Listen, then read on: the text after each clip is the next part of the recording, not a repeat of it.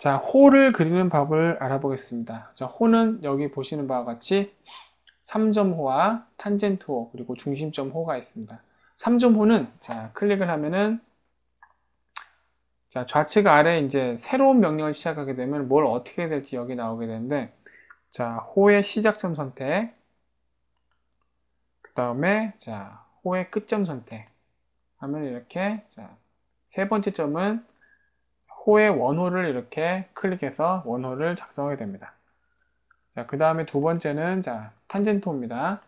탄젠토는 그냥 작성될 수 없고 어, 이미 작성된 다른 선이나 원의 개체가 있어야 돼, 호의 개체가 있어야 됩니다.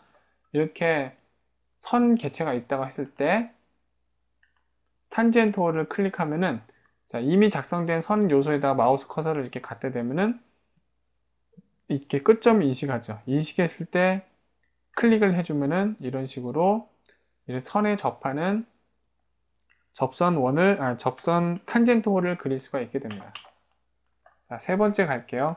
자, 세 번째는 중심점 호입니다. 중심점 호는 첫 번째로 호의 중심을 선택하고 그 다음에 호의 시작점과 호의 끝점을 이렇게 클릭해서 자, 호를 작성할 수가 있게 됩니다.